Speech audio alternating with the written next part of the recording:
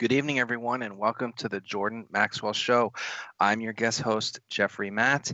And uh, unfortunately, Jordan is not available this evening. So, again, I have another opportunity to fill in for him, which I consider it an honor.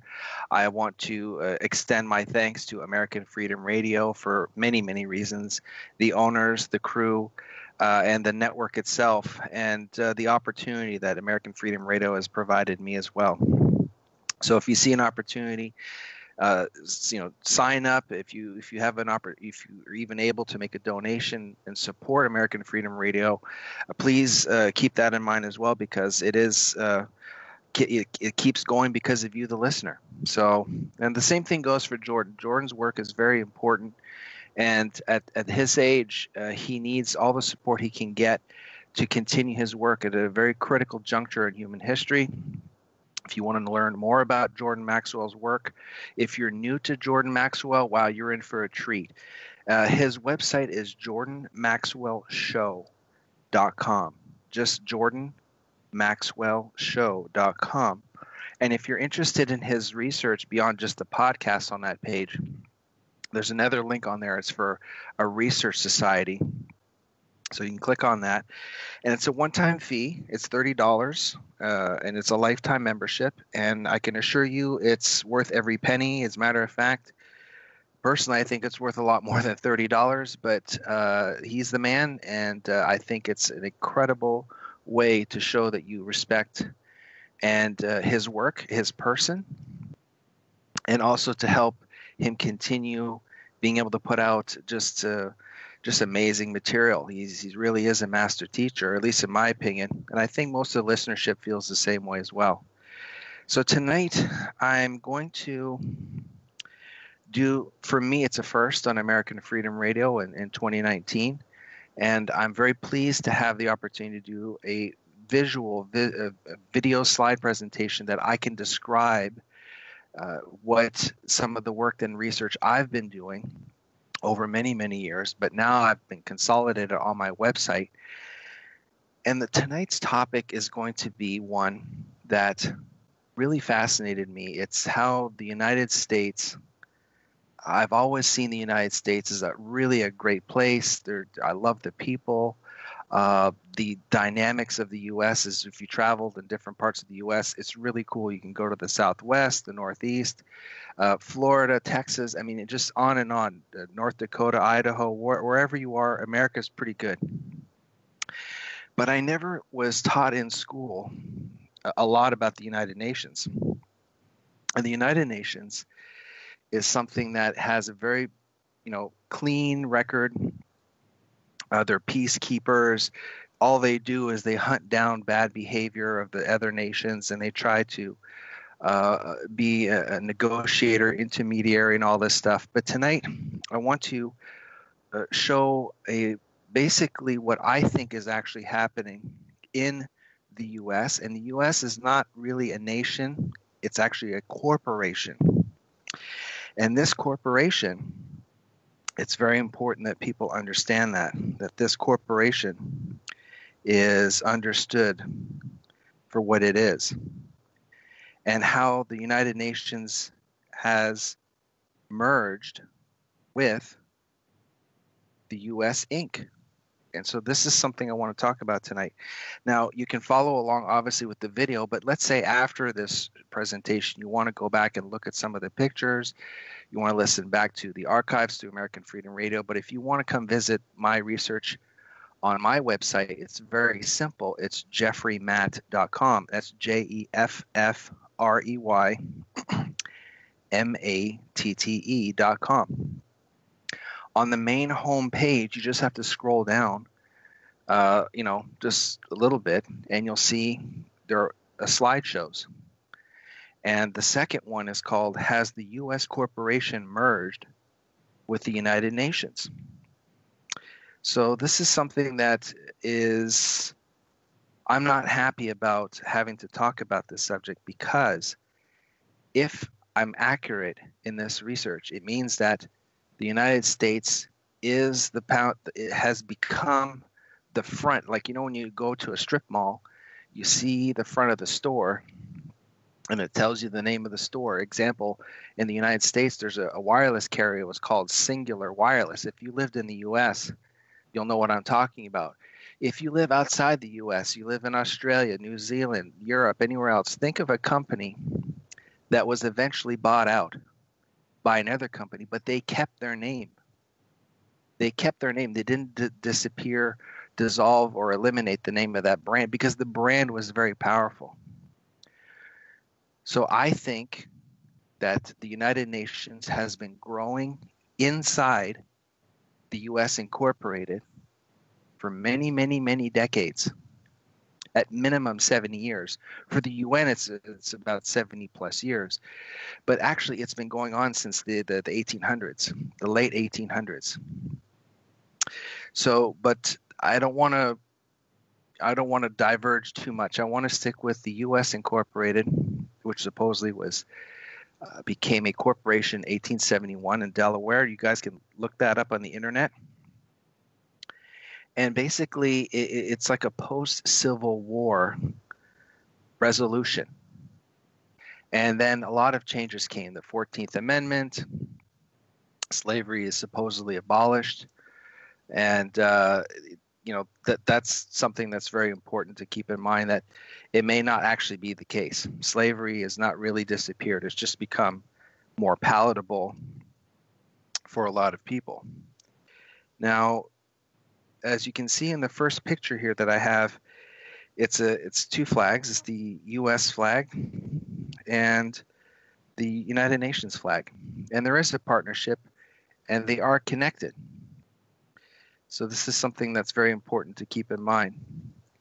And if you notice the United Nations, you know, even the windows on the building in New York City, where the Rockefellers donated the land, the, the Rockefeller family, for those of you who aren't familiar, it's a very powerful family that got involved with oil and helped start a large international conglomerate, large corporation called Standard Oil. It became a monopoly, it was broken down, and the power of this corporation has never really gone away. It's still it's just broken up into pieces. It still doesn't mean it's not extremely powerful. And they gave the land, the Rockefeller family gave the land for the headquarters of the United Nations in New York City.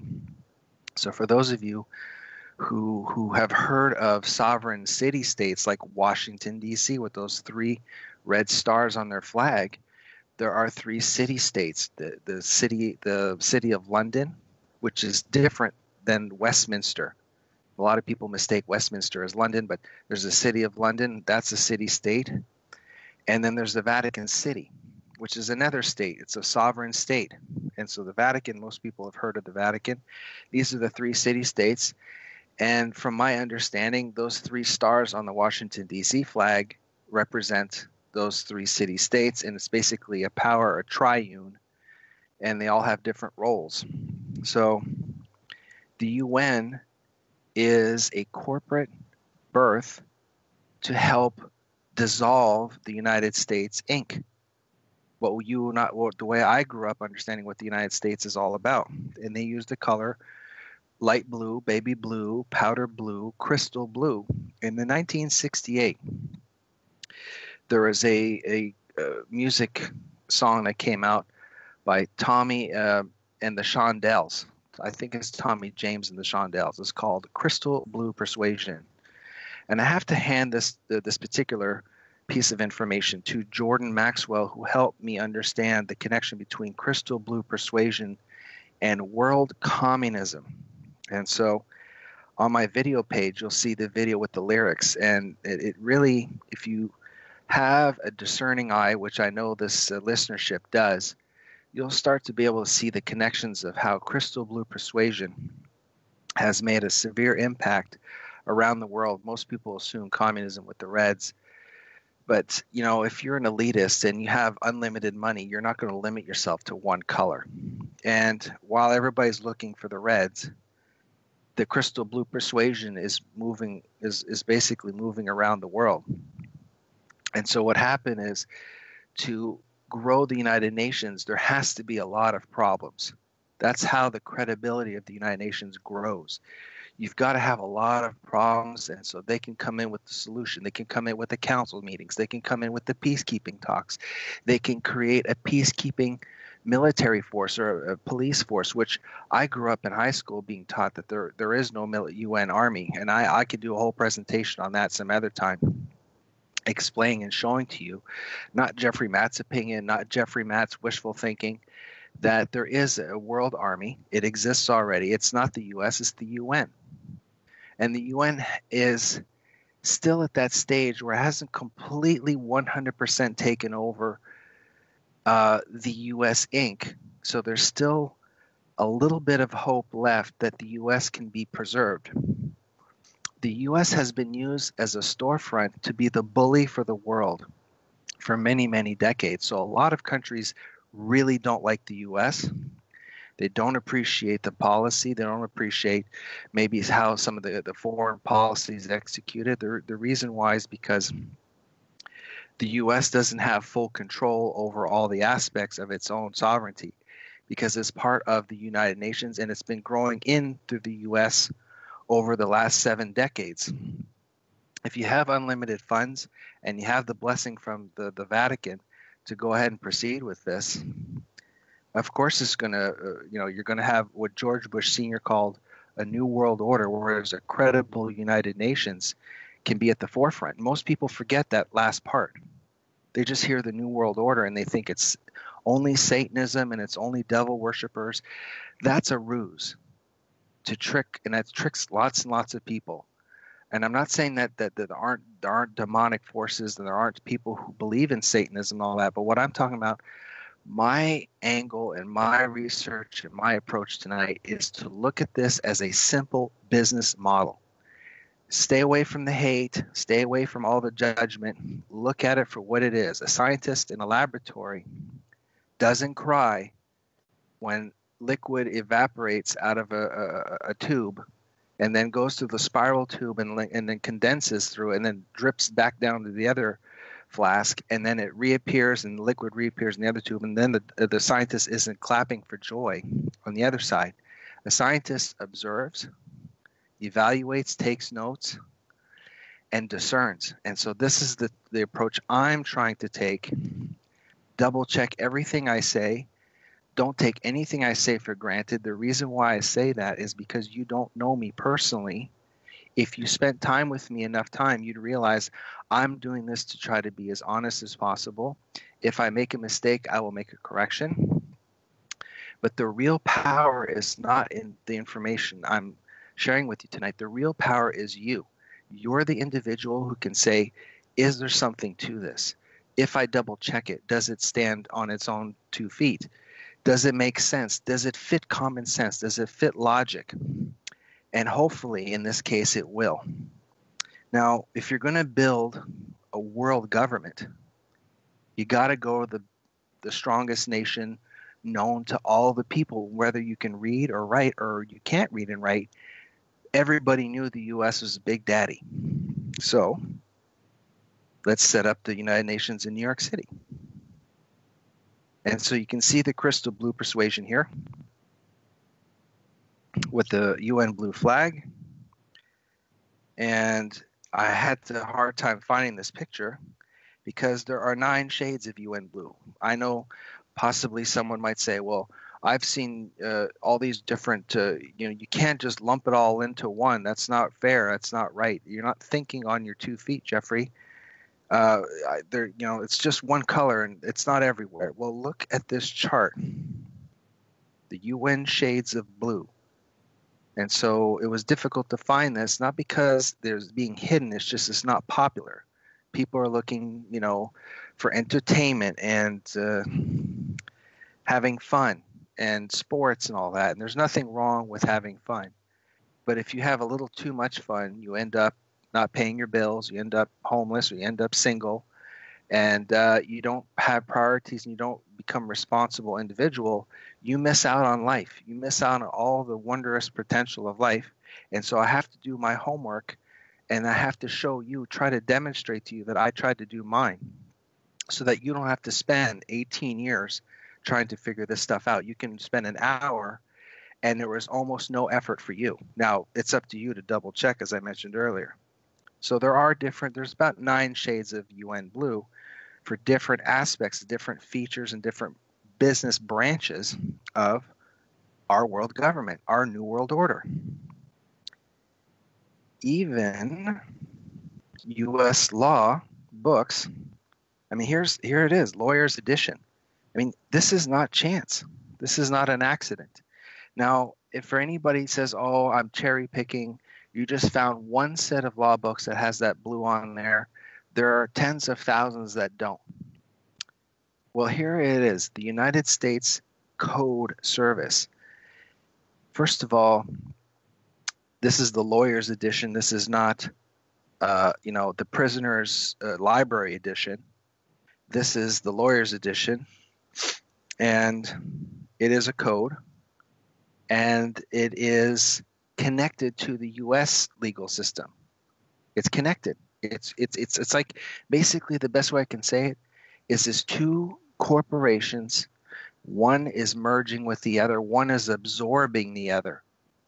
And so the United Nations has been trying to completely dissolve and absorb and consume and and digest and process and eliminate the US Inc. So they have little codes. They put the color in for the certain people who are in the know. Maybe they're in a secret society. Maybe they work for different branches of government. Maybe they work in the military. Maybe they work in intelligence. But I've come to understand the trend because this is really what I bring to the table. It's not necessarily just the information, it's pattern recognition. People who have been studying artificial intelligence, multiple doctorates, a lot of them will say, well, How do you describe intelligence?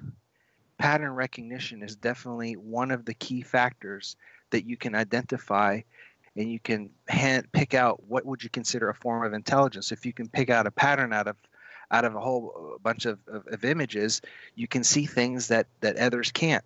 It's a form of intelligence, and that's what I'm trying to present to you today. So the U.S. legal system is connected as well, but it also is with the intelligence community. General Michael Hayden, I think he was the ex CIA director and NSA director. I mean, he really, you know, he had one heck of a career, this man. And he was involved with helping start up what today we call cyber cyber command. But before it became that, it was called the United States Joint Forces Command. And if you look at the the picture of the United States, you'll see that it's not red, white, and blue, but it's baby blue. It's UN blue. That's not an accident. That's not somebody slipping and falling onto the mouse and accidentally hitting the wrong color on paint, on Microsoft Paint. That's not what's happening here. This is not by accident. And neither is it an accident for the National Security Agency. This is not somebody who slipped and fell uh, in in the room and accidentally knocked over the can of baby boop, you know, paint on making this flag for the United uh, for the National Security Agency. So there's something to this, but maybe I'm cherry picking. Let's keep let's keep going.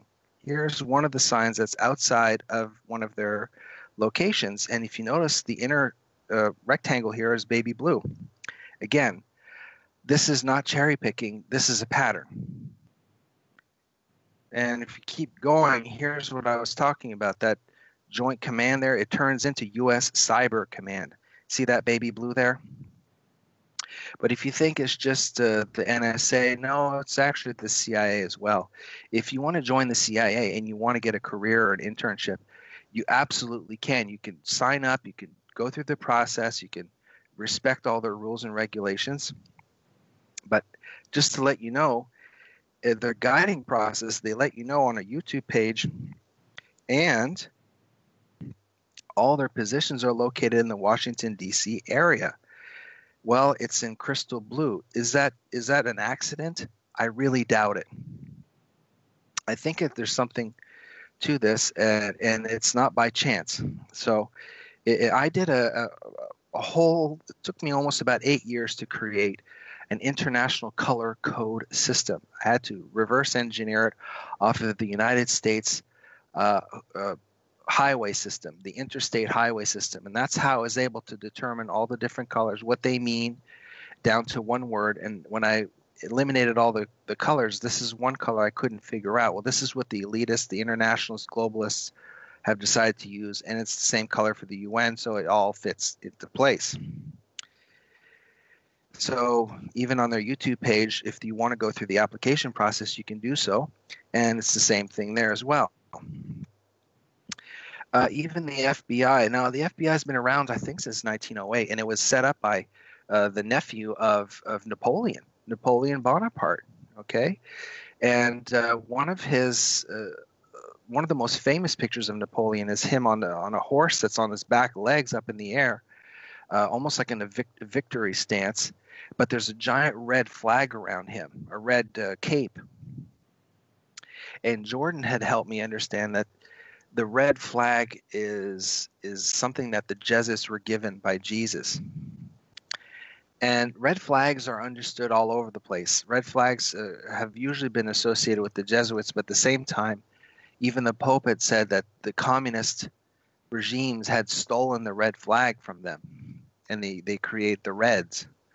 But the FBI, uh, because it's been around before the United Nations, you don't see the baby blue as much, right? Because it was there decades, 30, 40 years before the UN was founded but they still have a few places they can do press releases where the background is baby blue, where the buildings are more recent. They're not built in the for, the 30s and the 20s, and uh, so it's still there. And here's a, an interesting. This is very symbolic to me of an FBI office in I think this is in Hawaii, and they have a blue panel on top of the logo, on top, or or or covering it up.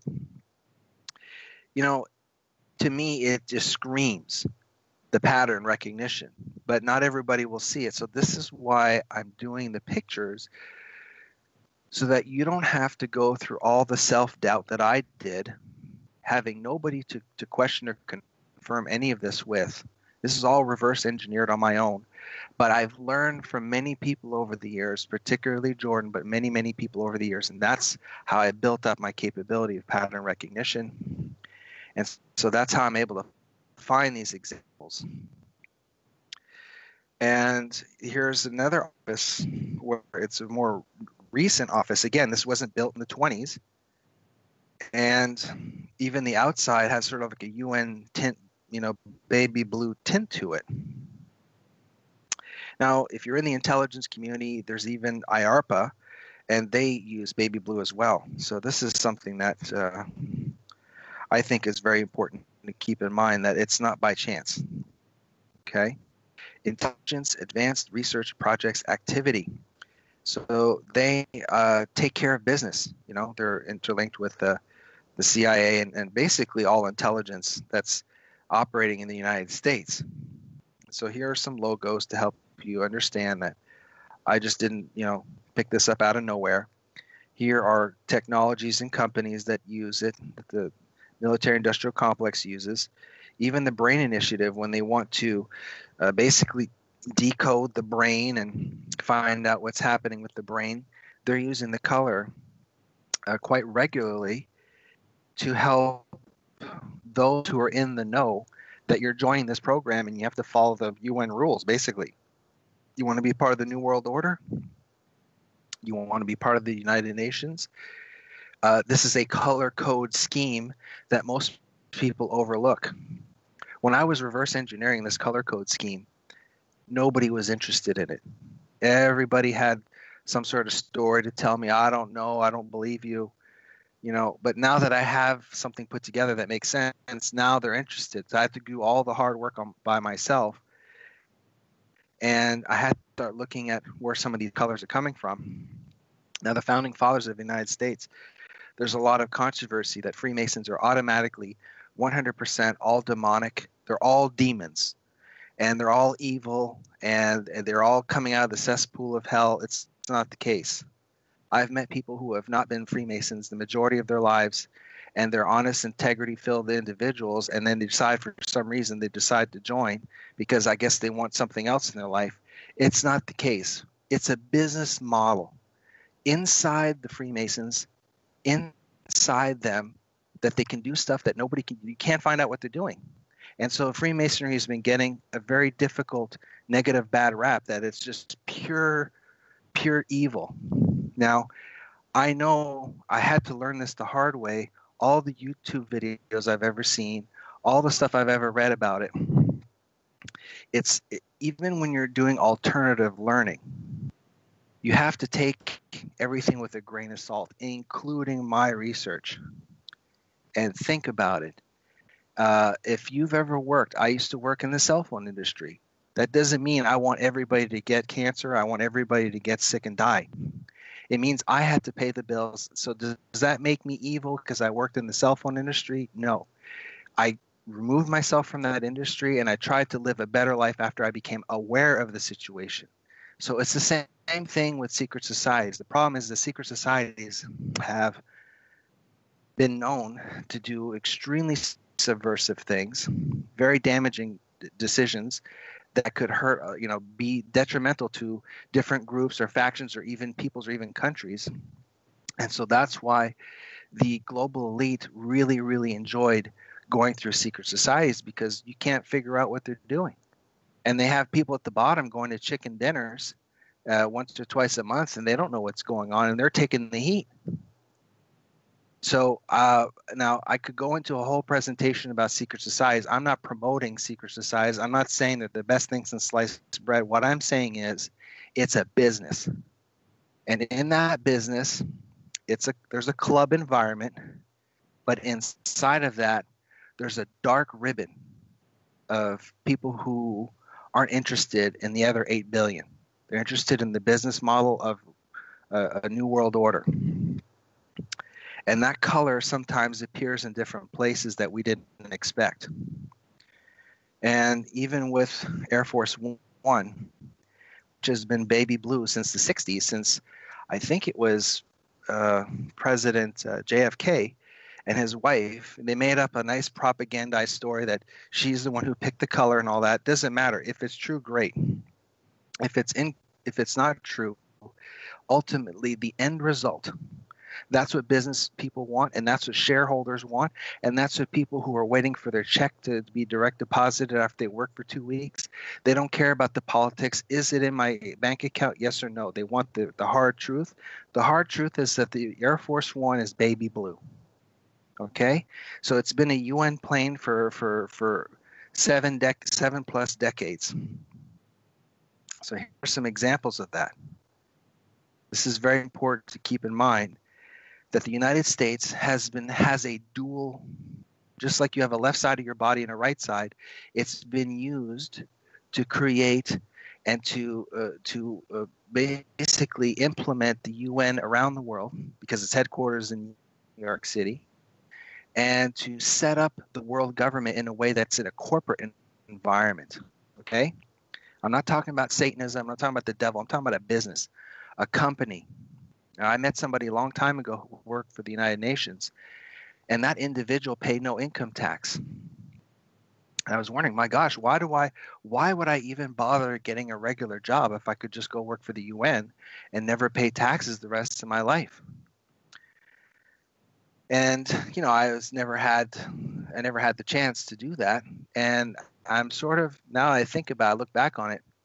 Uh, I, I, I mean, I never would have known but if I hadn't done my own homework and met impressive people throughout the, the, the last uh, almost two decades, especially with Jordan, none of this awareness would have been available to me if I hadn't believed in myself and I hadn't tried to surround myself with brilliant minds and listen. I didn't say hardly a word around Jordan for about 11 years. I mean, we, we talked and stuff, but whenever I met other people around him, I just let them talk. You know, they're the ones who are experts in this and that, and I I did all the listening, and so when you put it all together, it only took me 17 years. Uh, you get these examples that's that show a pattern. So here's the Air Force One even further back. Now here's uh, JFK. You know, this isn't Jeffrey Matte wishful thinking. This is this is you know in your face. Even the United States government uses on their main website they use baby blue. You know, here it is. Uh, you can't get more in your face than that. The Department of Commerce. Now I know there's different versions of the logo, but they have this version available, readily available on many many in many formats. And so I'm pointing this out because they don't make mistakes. They don't make mistakes. They get what they want. They get what they paid for. I think even in the the presentation that Jordan Maxwell did called uh, Matrix of Power, you know, he said something about the education system. They pay what they get for. If your education uh, leaves you uh, unable to understand what's happening in the world, it's because that's what they paid for. So these are elements of this. And the Department of the Treasury, you see the UN blue there? I didn't make this up. It's there in your face. It's there in my face. Even the Committee on the Ways and Means, he said, oh, there's no UN blue there, but on their website, there it is on the top. And whenever you're dealing with something, it's on the top. Usually it has priority, it takes precedence, so the UN blue can take precedence there. So you know these are kind of things that are being put into place that you and I may or may not be aware of. Even with the Environmental Protection Agency, uh, people will say, "Well, that's just you know that's just how it is." Uh, you know, they've got to pick a color for the sky. You can't just uh, put purple sky. You got to put baby blue. But let's keep going. I think that was also set up during the Nixon era. And George Bush Sr. was the UN ambassador at the same time. And he, uh, he was there when they did the vote to choose which of the two governments in China was going to be acknowledged either the Republic of China and Taiwan or the People's Republic, which is the Communist Party. And so, just by magical chance, it all was set up and communism was launched and, and, and recognized, not launched, it was recognized by the UN as the government of choice. So, Tricky Dick or Nixon was hard at work, whether he understood it or not.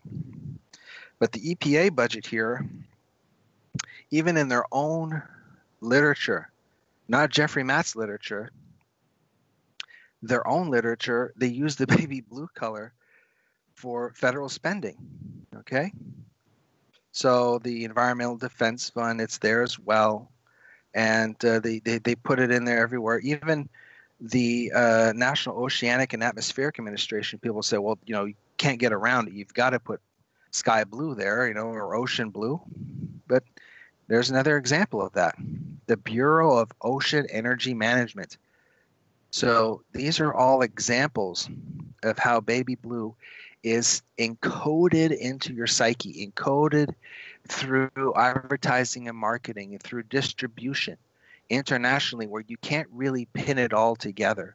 You can't really see the pattern because you look and I look at tens of thousands of images a day through magazines, through newspapers, through television, through the internet, through YouTube, through uh, bulletin boards at your job, at school, university, high school, clubs, Boy Scouts, on and on and on. So you can't see the pattern. I'm removing everything out of the way and I'm providing you with an example of this pattern.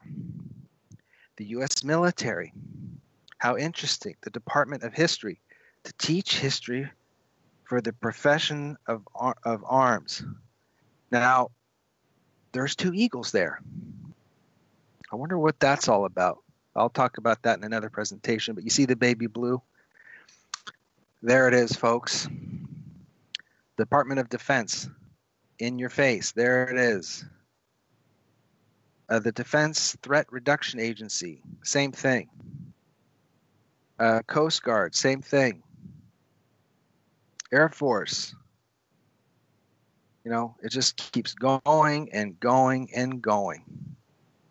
It's just never ending. And so these are all examples that people may or may not have made the connection because nobody's spending time on colors.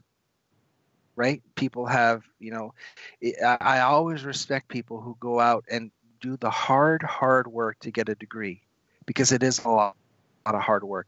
It's a lot of sacrifice. There's a lot of stress, and if you get it, you kudos to you for getting a degree.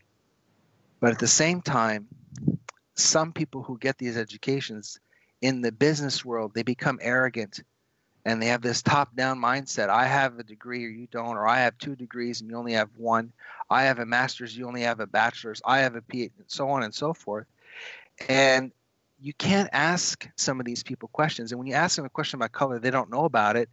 It's the wrong question to ask. You ask someone who has that high level of education they have no clue it makes them uncomfortable because they don't know what to answer. So they give you a shutdown answer. Uh, that's not something you should ask there's a time and place, so on and so forth. So you get never really get to learn through your work environment. If you're in the military, the chances you finding this out are so small. You know, it's like finding a unicorn. Good luck. You have to be outside the box. You have to think. Uh, even the, the the hiring process at Microsoft, up in Redmond, they do lateral thinking. They have uh, outside the box uh, lateral thinking interviews, and this is the kind of stuff that they would want people to think outside the box. This is the kind of thing. Uh, seeing patterns that aren't there, understanding problems from a different perspective, determining and discerning th- things based on little little data, seeing stuff that other people can't. Well, Goldman Sachs. Let's look at the banking issue, the uh, banking information. And we might have to do a second hour to complete this. So uh, it's it's going to be something I want to continue in the second hour. But Goldman Sachs is one of the biggest banks in the world, one of the most recognized banks in the world. And guess what? It's a United Nations Foundation partner. And so they have the UN Blue. And uh, so this is uh, sort of like an overt bank. It's like one of the banks that's o- that's okay with saying I'm with the UN. I'm with them. I'm using their colors. I'm their partner. I'm on their website saying I'm their partner. There's no mystery. It's in your face. So this is something else. But if we keep going through the financial arena, you'll see that even the NASDAQ is using baby blue. And if you want to do business in the United States, incorporated, well, we're going to use that even in politics. You know, Obama, he was a big daddy on this. Big, big daddy. And he believes in communism. I've never met him personally, and I'm sure that that man is a very charismatic, easygoing guy. But whoever he authorized to create his campaign also understands this color code and understands the United Nations and understands constitutional he understands the game and he's not using this baby blue by by sheer chance and by accident. Nobody fell and a can of blue baby blue paint fell all over this. Change we need. Change. So what are we changing exactly? Are we changing America? Are we dissolving the United States Incorporated so that it becomes so weak and the education system becomes common core? Which is basically, I'm sure, all around the world, especially the Commonwealth in particular. If you see a, pol- a politician in your country, including New Zealand, including England, Theresa May uh, with the Brexit, her campaign is peppered with baby blue everywhere. So somebody wasn't happy with Brexit. She got in, and what she did is she created a huge, ginormous two year fumble. Why? Is it because she doesn't know what she's doing? Of course she knows what she's doing she is part of the gang that doesn't want sovereignty. She wants the world system to be put into place. So if, it, the vote went through, she had two years to fumble the ball. And she did fumble the ball. And the colors, you know, if you ever seen the, the movies? It's called Colors with, um, I forget the actor's name, but, anyways, there are gangs, street gangs that have colors well, why don't politicians? They have colors too. Now, I'm not saying that all the other political parties who do not use this color are somehow lily white and they have uh, nothing, uh, nothing's reproachable and all this stuff. I'm just letting you know that this is the this is the gang that's a dominant gang, UN, that's willing to be overt, not covert, overt, meaning out in the open. They've got to get this color out in the open more and more so people are conditioned to see it. I've seen it a thousand times. It's like seeing violence on TV. If you've seen enough violence on TV, you become desensitized. So this is the party in in the Commonwealth world it's called conservatives. In the United States it's called Democrats. So they're using the baby blue. So that's the and let's check out oh wow. You know that oval behind Obama's head? That used to be black but just a few years ago it was changed over to baby blue. Most people never even paid attention to it. I bet you people even in the White House didn't even know the significance of that change. Now I can't know that for sure, but it wouldn't surprise me that some people don't have a clue. But Obama does. He knows all about it.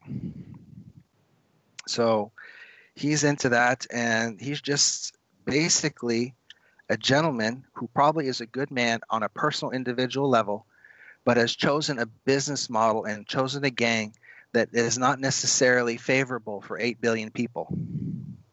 So I've come, this is a very difficult lesson I had to learn. When I tried to learn about stuff, oh my gosh, I don't like this, so that means they're all bad. No. I've met good people who've made bad decisions. I've met excellent people who've made horrible choices and then they've recovered, or people who are just simply bad altogether. I have to judge each person individually, even if they're with something I don't agree with. I've come to understand that everybody makes bad decisions, and it doesn't make them the business model. They're supporting the business model. It doesn't make them the business model. So I always have to separate the person from the movement. Because the reason why I'm specifying this, I'm being very detailed about it, is because I want to talk about a solution. I want to talk about what can be done about all this, and I want to talk about how to make my contribution of what I would consider discernment to help people understand how to move forward and how to understand what's happening today, February 5th, 2019, and understand where this is all going and where it could go. The potential of where it could go could be very positive for everybody, or almost everybody, sorry. Even Bernie Sanders there we go. Baby blue. You know, his Bernie bus. And if those of you think I'm cherry picking this, I'm not. I'm not cherry picking any of this. So this is something that everybody needs to keep in mind. And we all have we all know Hillary Clinton. And we're all supposedly stronger together. Baby blue on top, not the bottom on top. Okay? and the majority of her life, the majority of her life, when she does major political events, she wears crystal blue or a form of crystal blue. That's why I showed you the slide of those nine shades. Okay? Because people are going to say, well, UN's one color. There's all kinds of versions of it. Even her bus is baby blue. Now, I have another section below on my homepage that shows all the politicians from New Zealand, from England, from the EU that uses baby blue throughout the Commonwealth. And, and, and but here is with the US, so I'm just sticking with them for right now. So even on her cover of her book, when she does speeches at $5,000 a minute, I think at one point she was earning $5,000 a minute she is uh, basically your UN ambassador politician in the US, but she's running as a Democrat. Not complicated, this is really straightforward. So I have the NASDAQ here, but you see the NYPD? Let's go back. See the NYPD? New York Police Department? Pretty gosh darn close. And even the police cars, for many years, even up to this day, now it's a lot fewer, but for many years, they sort of sported, they were jet setting the UN Blue. Okay, so I'm showing you older models so you don't think that, uh, uh, you know, I'm full of it. Here's a more recent model. Here's an even more recent model. Okay, there's multiple shades of UN Blue. New York City is a UN city. The headquarters of the UN is there. I mean, I, I, I can't get more obvious than that. So, you know, there are other UN cities around the world, but the main one is is is New York. Okay. So, Apple. Now, there are other entrance signs that Apple has that, that aren't blue, baby blue, but there are several of them that are predominantly baby blue. I saw one once that was red, and I think it was a different kind of campus. It was like something, you know, when you go to a campus and you see the main building and then the secondary building. I think this is the primary color for the main building.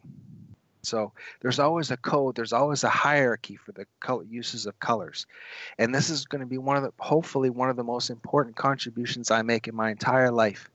More than any other presentation I ever will make on any kind of research that I do is the International Color Code System, which I will do with pictures. I did it with audio and that just doesn't make the cut.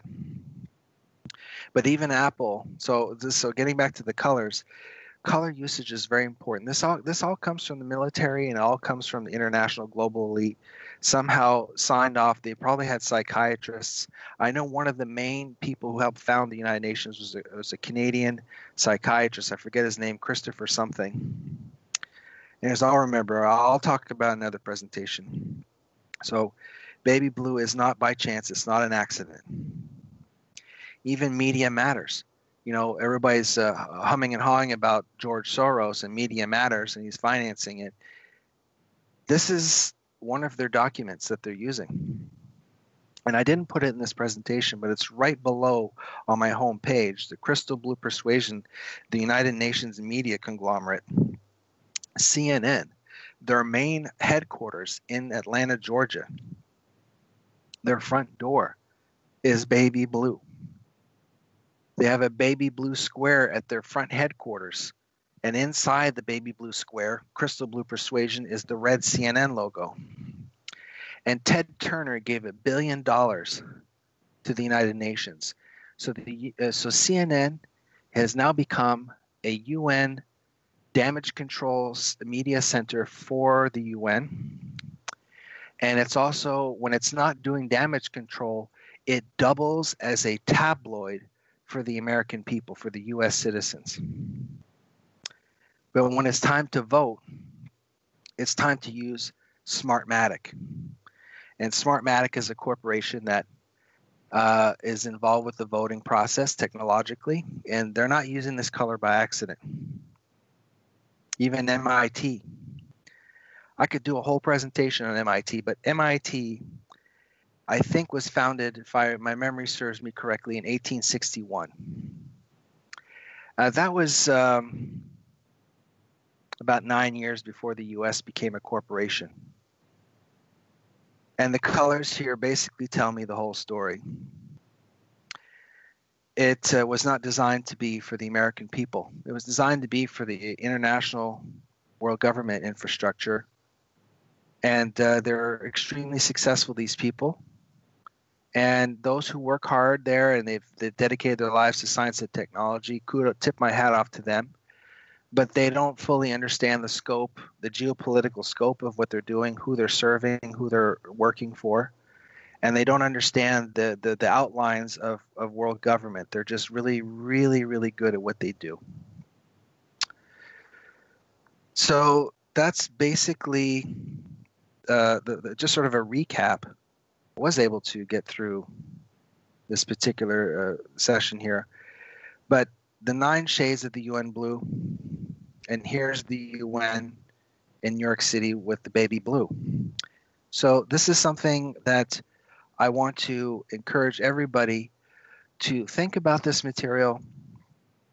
Uh, do your homework. Uh, Jordan Maxwell taught me well, and other other great teachers have taught me well uh, that I've looked for. It's not just Jordan. There are many other people I've listened to. And what I do is I take what I really appreciate from them. I try to take as many facts as I can from them, double check it. I build my own truth. I build my own reasoning and my own discernment. And I try to stay away from pitfall, you know, belief systems as much as I can. I, I make mistakes like anybody else. And I want to uh, let you know that this information is the precursor. I should probably do a 10 part series. This would be the first one if you're in a North, if, even if you don't live in the US, you need to understand this. Because when you start looking at the social credit system, which for those of you who've never heard of the social credit system, everything you do outside of work everything that you do that's in a legal lifestyle is going to be attached to your uh, to your financial credit score. So you pay your bills on time. You could be a really really nice guy and and pay your bills on time or you could be basically almost a really bad person and still pay your bills on time, still have a high score. With the social credit system that's already implemented in China, whatever behavior you have, what you buy, what you say to people, who you associate with will give you a score. It won't just be your financial history. It'll be about who you are, who you call, and if you're a bad bad citizen, you end up on a blacklist. You can't take a train, you can't take a plane, you can't travel internationally, you can't send your children to private school, you can't rent an apartment. You end up on a blacklist. Well, this is the infrastructure that's going to moderate the entire world's uh, citizenry on all these corporate corporations around the world that we call countries. And this is all blessed and approved for by the Vatican, by the Holy Father, and all the cardinals. And they have this social doctrine that's coming out.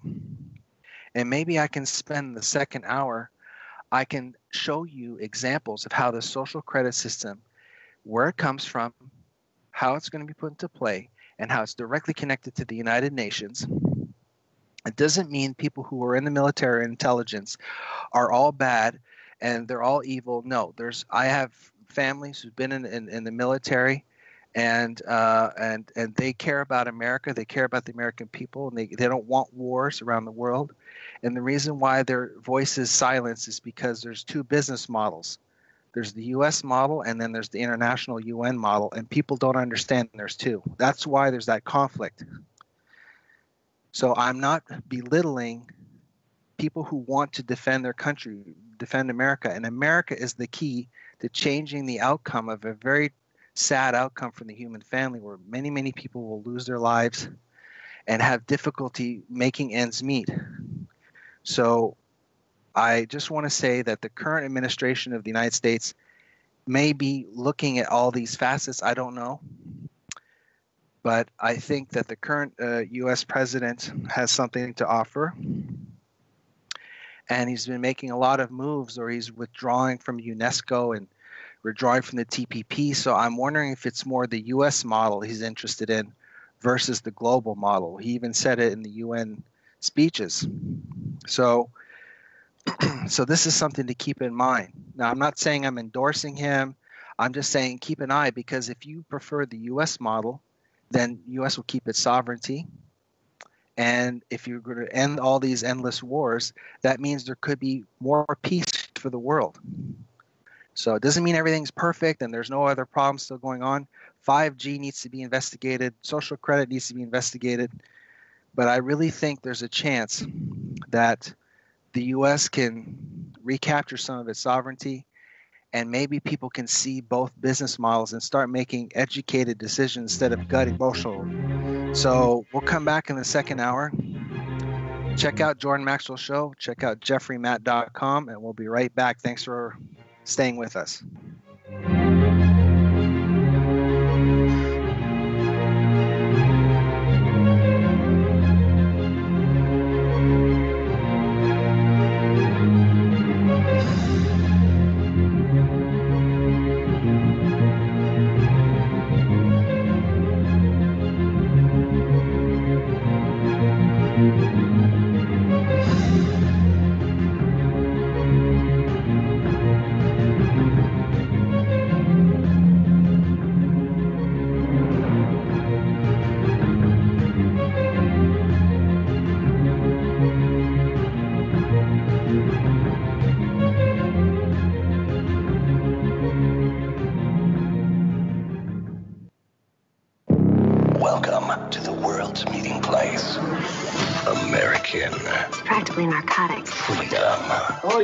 I like very much. Radio. You're an American institution. American Freedom Radio. Have you experienced the miracle of CBDs? They can help you reduce suffering, reduce stress, help you sleep better, modulate inflammation in the body, and is absolutely safe. Meta Hemp Solutions offers a radically innovative approach to CBDs for exceptional Danny. results. Stop suffering and reduce Yeah, we're up. Oh. Yeah, Jeff, we didn't know you were going to do two hours, but that's okay. Um, Well, I, I, I so anyway, I'm going to go ahead and let the break play through, and we'll start you up for the second hour. Go, go take a quick break. thanks. Sorry about that. I didn't realize it. No worries. tahempsolutions.com or call 833-858-7500. Suffer no more. Get rid of the stress and sleep better. Get our product now at metahempsolutions.com. That's metahempsolutions.com. Are the trials of modern day living getting to you? Feeling tired all the time with no energy? Is proper nutrition a challenge? Having trouble sleeping? All of these evils, sleeplessness, tiredness, poor nutrition, and stress, wreak havoc on our bodies and minds. Enerfood, our incredible organic superfood, has been here to save your life day by day for over 14 years. With the densest nutrition on the planet, Enerfood is filled with 20 superfoods and super herbs designed to cure the evils of modern life. Enerfood will turn you into a superhero, and your family and friends will notice. Don't you want that get up and go feeling you need to seize the day? Why wait? Try it today and start feeling great again. Order now at www.enerfood.com and use the code TR15 for 15% off or call 866-762-9238 to place your order by phone. Use code TR15 for 15% off Enerfood at www.enerfood.com. When the weapons of mass destruction turned out not to be true, I expected the American people to rise up. They didn't. Then, when the Abu Ghraib torture thing surfaced and it was revealed that our government participated in rendition, a practice where we kidnap people and turn them over to regimes who specialize in torture, I was sure then the American people would be heard from. We stood mute. Then came the news that we jailed thousands of so called terrorist suspects, locked them up without the right to a trial or even the right to confront their accusers. Certainly, we would never stand for that. We did. And now it's been discovered the executive branch has been conducting massive illegal domestic surveillance on its own citizen, you and me. And I at least consoled myself that finally, finally, the American people will have had enough. Evidently, we haven't. In fact, if the people of this country have spoken the messages, we're okay with it all.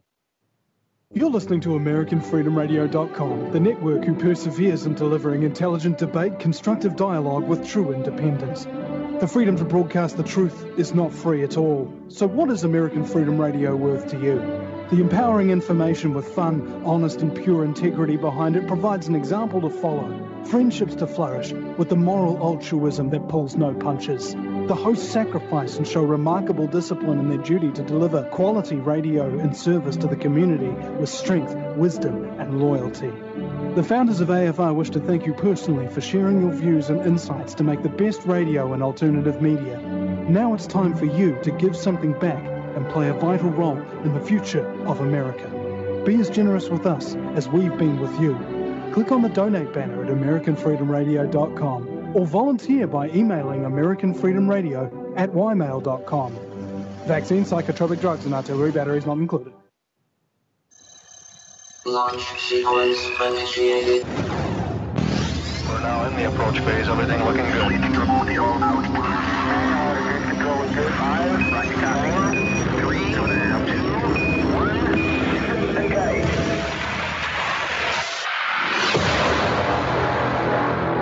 Prepare your mind to experience American Freedom Radio.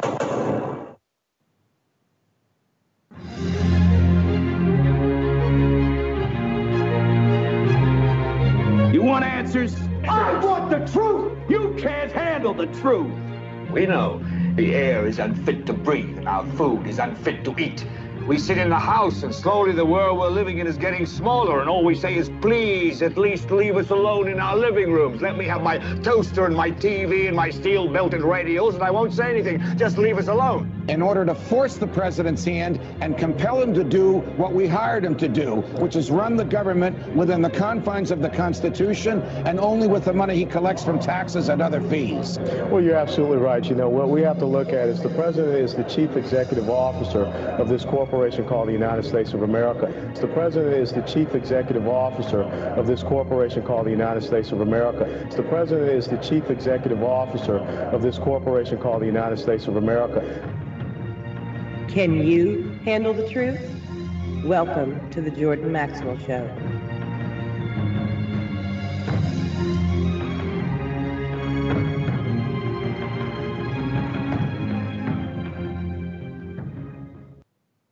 Welcome back, everybody, to the Jordan Maxwell Show. I'm your guest host, Jeffrey Matte, and I'm just delighted that you're still with me t- this evening. I'm filling in for Jordan. He's not with us uh, this week in particular, and it's my first time doing a video presentation this evening, so I'm really, really happy about it. And I spent the first hour talking about how the United Nations and, and the United States are two corporations turning into one.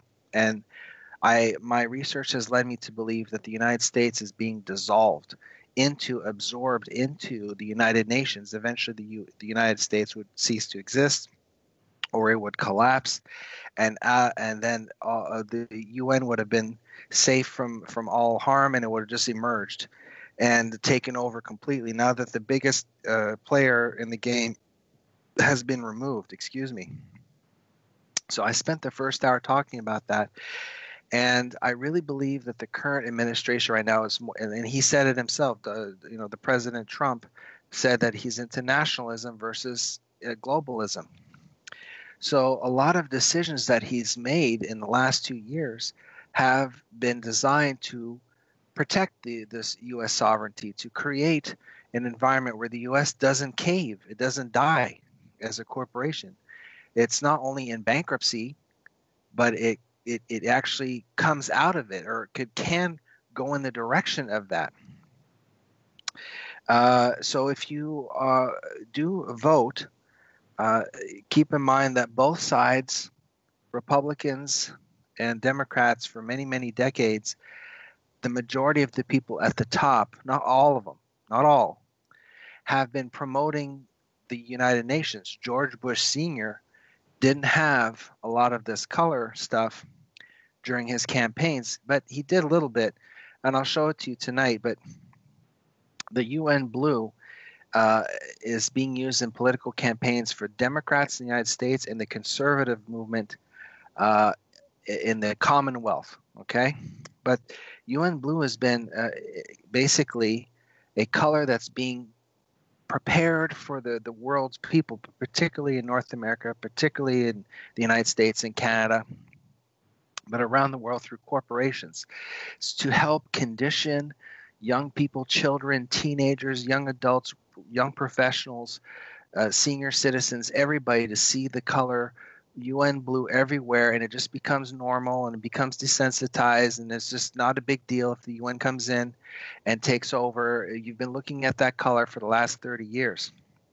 So there is a bit, and on my website, jeffreymatte.com, J E F F R E Y M A T T E dot com, on my homepage called UN World Business, you can scroll down and see another slide presentation that I did called UN Blue, a big trend hidden in plain sight subconsciously. So people are going to say, well, you know, cherry picking, but I spent a whole hour with you in the first hour trying to show you that it's not cherry picking. So here's the UN uh, with its blue. And that's how I ended the, the first hour. And here are the blue helmets for the UN, you know, peacekeepers. And here are the shades that I was saying. It's not just one particular shade of UN blue. There's nine versions of it. And here's a, a, a blueprint for corporate sustainability leadership. So they put this around the world, and different large corporations will uh, sort of tap into this information that was put together Uh, and and the land and the headquarters of the UN is in New York City. Donated the land was donated by the Rockefellers. And so the the sort of the in the, the big club that that you and I aren't in, well, they know about this color scheme. And that includes Microsoft. So even in Africa, they, they, they have this issue. Excuse me. If you have Windows 8.1, 10, no, Windows 10. If you're you, if you work for Salesforce, they're not using that color by accident. Big big corporation. Dropbox. Again, there's multiple shades of UN blue. Twitter. All globalist world government, United Nations. Skype, same thing. you know, it's not it's not an accident. People aren't running around in the offices with cans of baby blue paint and it all splatters all over it. No, no. It's everywhere. It's just people aren't seeing it. Even PayPal. Now, I here's the thing. I don't know Elon Musk personally. I know he's a co-founder. Uh, I don't know if he's into the UN world government stuff, but somebody on his advertising team or mar- marketing team knows all about it. I mean, again, this is something I mentioned in the first hour. I had to learn this the hard way.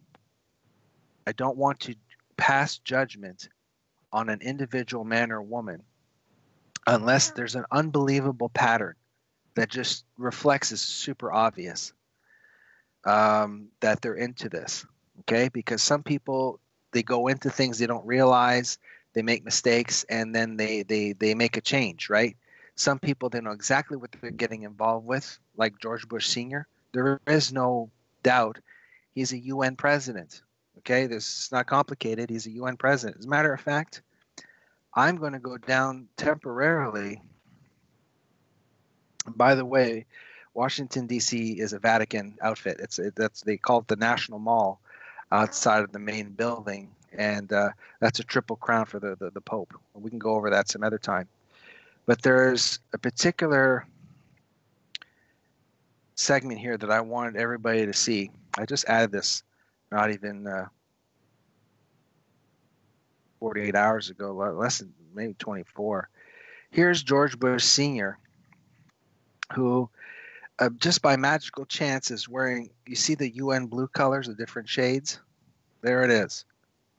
Okay, and so he's uh, he's Big Daddy on foreign affairs, and foreign affairs is is the United Nations and he he's the one who made the speech that's saying it's the new world order and everybody forgot the last part where it says a credible united nations. Everybody's worried about the new world order and satanic and all this stuff.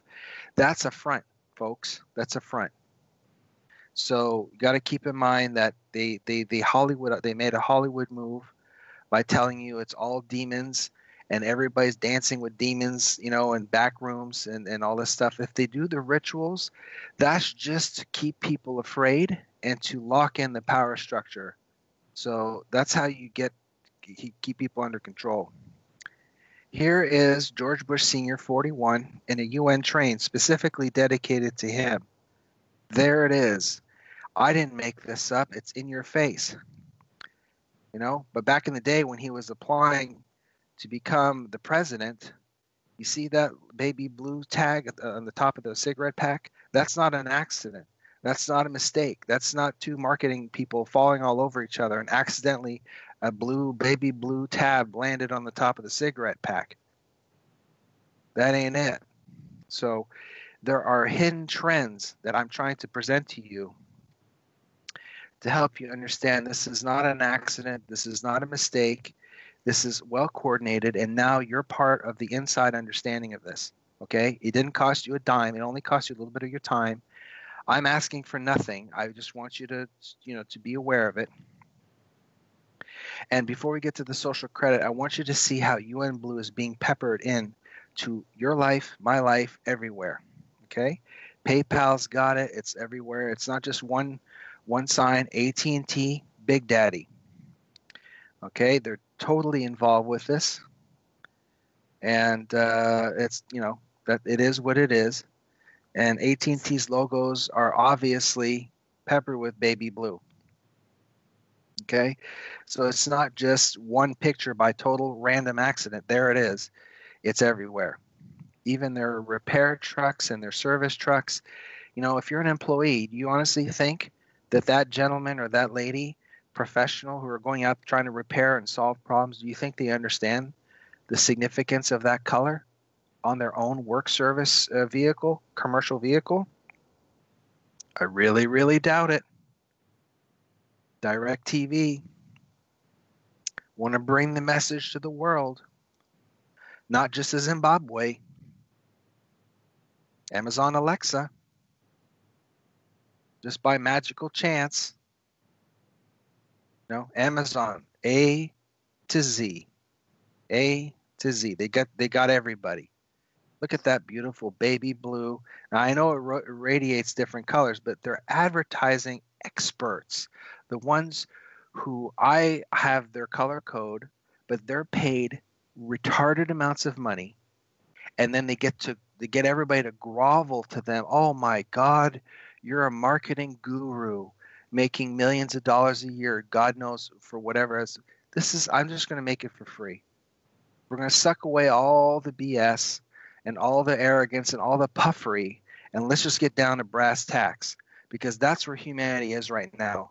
Humanity is in stage four cancer, addicted to to heroin. I'm being I'm being metaphysical when I say that. I'm not saying all the people in the U.S., the American people, which are corporate U.S. citizens. I'm talking about if I were to explain how the United States stands right now as a corporation.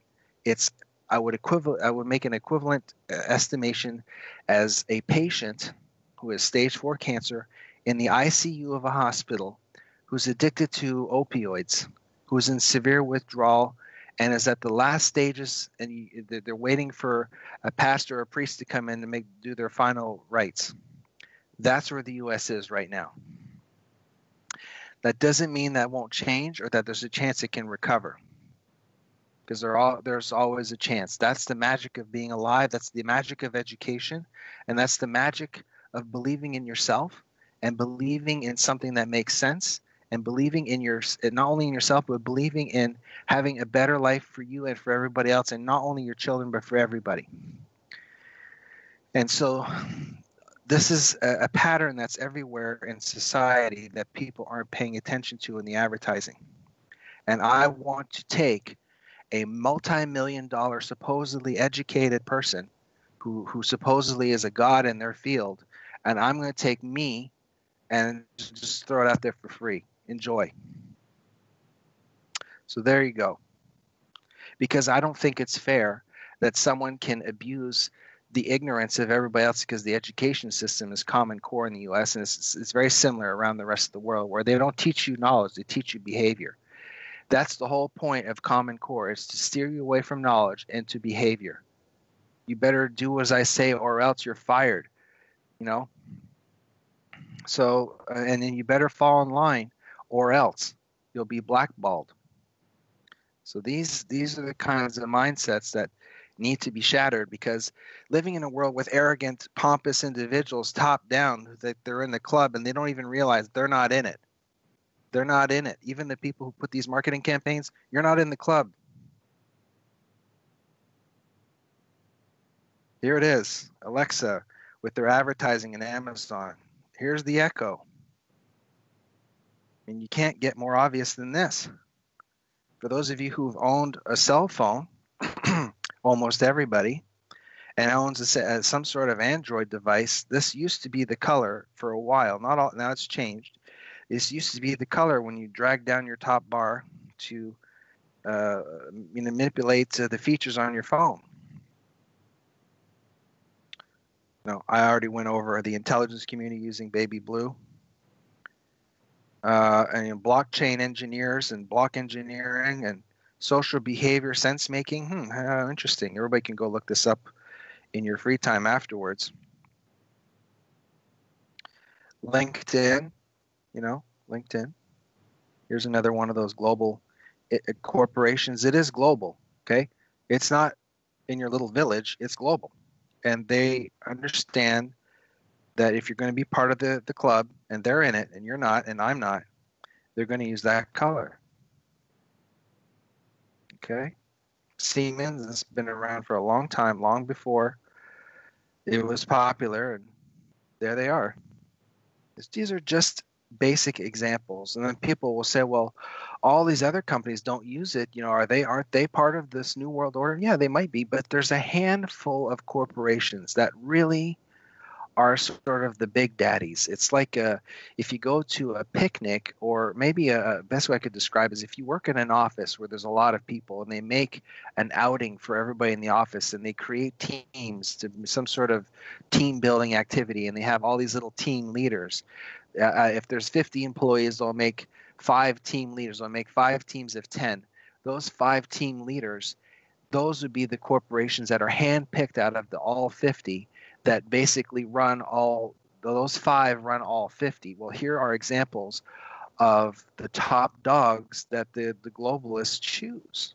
I mean you know do i need to explain myself when i look at siemens here? The whole building's baby blue. Nasdaq i talked about.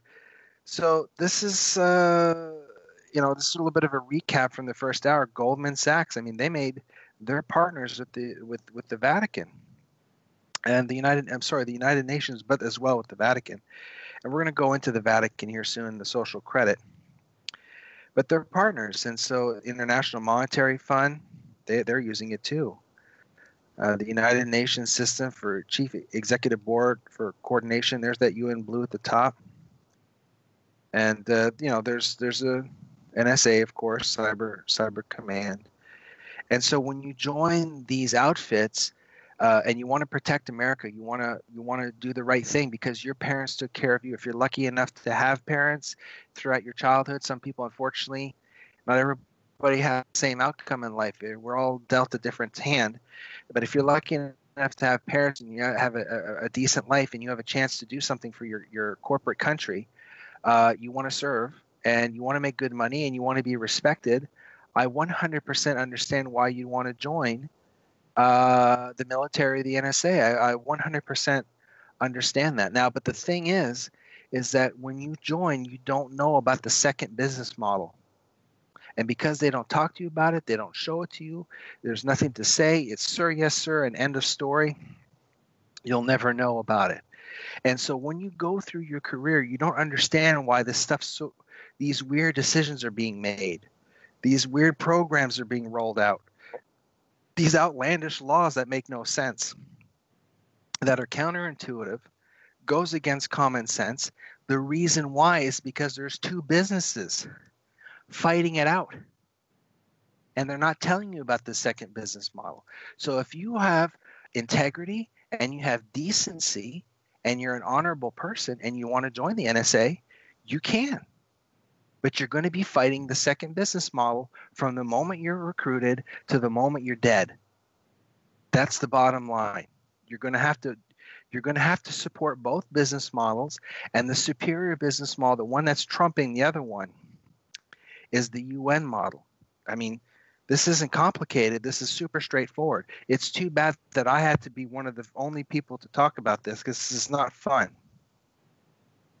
And smart cities that are coming, they don't call it smart by accident. They call it smart because they don't want to scare you because they know when you read a newspaper the English language or the language level is roughly third grade. Okay? That doesn't mean everybody's stupid. It doesn't mean nobody knows anything. Everybody has their, their fingers up their nose. What it means is that they understand psychology and they have the most senior people. They have trillions of dollars at their disposal over decades, and you don't and so they know what to do. They did all the homework without your knowledge, and they know how to. They don't call it AI City; it's too scary. All the baby boomers would say, "No, no, no, there's something wrong." So they come out with a very docile word called smart. Look at that beautiful baby blue. Nobody's paying attention. Smart Cities Expo World Forum. So you're going to go towards universal basic income. What is that? For those of you who aren't familiar with universal basic income, I'm going to give you the real skinny on it. Artificial intelligence and robotics are going to dominate the workforce around the world, And Fortune magazine came out with an article a couple years ago saying that 800 million jobs are going to be possibly eliminated to automation and artificial intelligence. That's roughly around 73 million in the United States in the next 13 years. Now, the existing current president has done something that I would never thought was possible or ever would happen in my lifetime. I thought the end of humanity was going to probably come in less than 100 years. Basically, everybody everybody's just going to go not knowing any different. Just like when you go to a farm and you see all the cows brought in to be executed to, turn, to be sent to the In-N-Out Burger or whatever your local chain hamburger shop is or your local supermarket. The cows don't know they're going to the supermarket. I thought everybody was just going to go under. Everything's going to, you know, humanity. The U.S. is going to die as a corporation. It's going to be take the full takeover is going to happen by the UN. And then when people are out of work, they, you know, Mark Zuckerberg and the gang, uh, we're talking about basic income, universal basic basic income, excuse me, where the government will give you free money because you can't work because the robot can do eight times more than you and me so we're all going to be facing universal basic income, but what an interesting choice of colors to put that out. And it's going to lead to the social credit, and the social credit is something that uh, I'm going to get into very, very uh, soon here. These are just corporations that are chosen uh, to participate in helping bring together uh, the International United Nations network using this color. Now, I understand I'm going through these pictures quickly you can always go back to the archives of American Freedom Radio. Don't forget to consider if you're in a position to support American Freedom Radio, I would if I were you. And it's not just because I don't like supporting and asking for stuff and promoting anything. I don't put my name on anything. And people who've known me for years, I put my name on nothing unless I believe in it. Just like the material I'm putting out. So if I'm saying American Freedom Radio has something to offer, it's because it does. That's the bottom line. It's the same thing with Jordan Maxwell. I couldn't have been uh, reached this stage if it wasn't for the caliber and the the the the, the incredible insight and dedication commitment of a man of a titan 60 year educator titan in the world on the world scene of alternative education real education real knowledge None of this would have been possible for me if it hadn't been for all my teachers, my family, my friends, and Jordan Maxwell and American Freedom Radio uh, offered me a chance to present this information. So, kudos to them. And kudos to you for listening in. So, here's some more corporations that are doing this, and Google Fiber. And you know, you go to these conferences, and everybody, oh, I have a degree. You, you too. You have a degree you know about the the the, the club? No, I, I don't even know what you're talking about. Well, you're not in it. You're not in the club. You don't know what's going on. You're just sitting there. You don't realize who you're working for. You don't realize where your paychecks are coming from. You don't know what's going on, champ. So, you know, I'm not saying these people are bad. They're probably all sensational people. They're great to have a nice lunch with and talk with. But I'm interested in knowing what's really going on. I'm not interested in going wading through pools of, of, of individuals who think they understand, they don't. You can tell right away. So this is something that I want to do is try to bring insight and potential understanding to those only those who want to know. And trust me, is not a lot. So you're very special to me. You're very important to me. That's why I'm putting this information out there for you. So here are examples of service trucks all over the place, all over the United States. They're all sporting the UN blue, and it's Google. Okay, even their maps, even Disney, right? You know, they're part of the gang. They're part of the club. They're in the club. They're in the club. They're in the club. Here's some more examples of it. And uh, everybody's seen this one, right? You notice the baby blue? I didn't for a long time. Pixar. Here we go. There's some more examples. Here's The Incredibles. Oh, okay. And this movie, The Incredibles 2, if you think, oh, it, it's it's Frozone, and, and, and, and he's freezing and there's crystal blue ice and all that stuff. No, no, no. The UN is a main theme in this movie. The United Nations is a main part of the plot. The United Nations. There it is. Impregnating the subconscious mind of children. And the U.S. is going down the toilet and it's gone forever. The founding fathers would be rolling in their graves if they knew what uh, the transition of the corporate merger, the loss of the republic, turning into a corporate democracy, and then being absorbed and dissolved into the United Nations. Okay? I didn't do all this. I'm just telling you about it.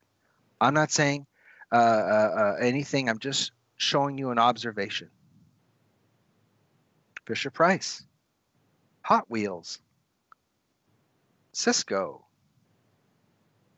So that's basically the scoop when it comes to the UN Blue. Okay, even some of your browsers on your computers, some of them now, when you highlight the text, it's baby blue. This is all subconscious. So now that we've done that, let's take a quick look at how the United States Capitol is a Vatican operation. Now, this is pattern recognition again, folks. There is no white paper sitting on the internet that you can download and says the Vatican Uh, the Washington D.C.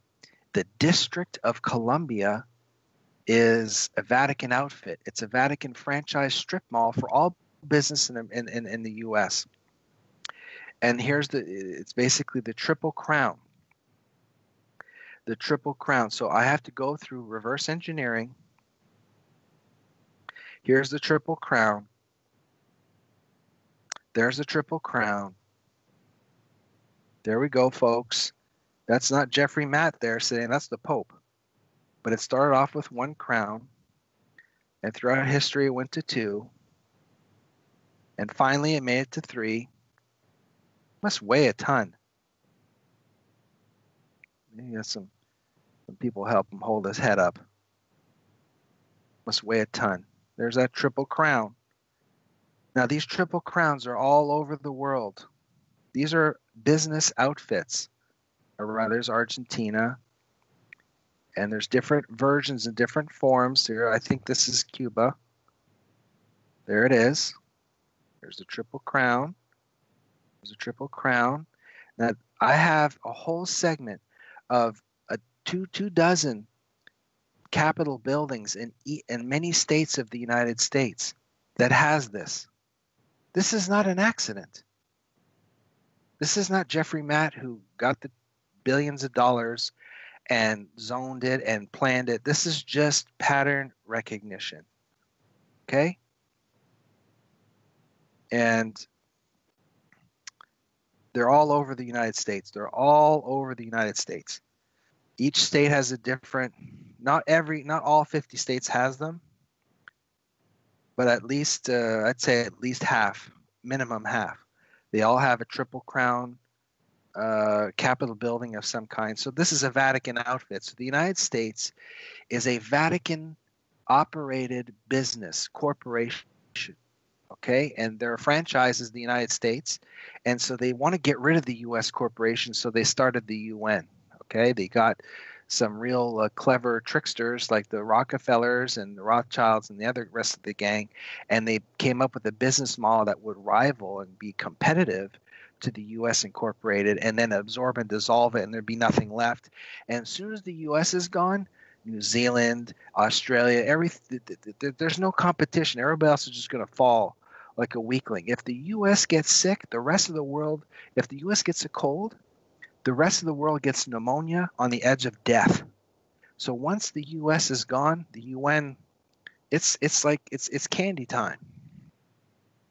So here are all these capitals in all these different states for the Triple Crown. And it's important to understand that this is not an accident.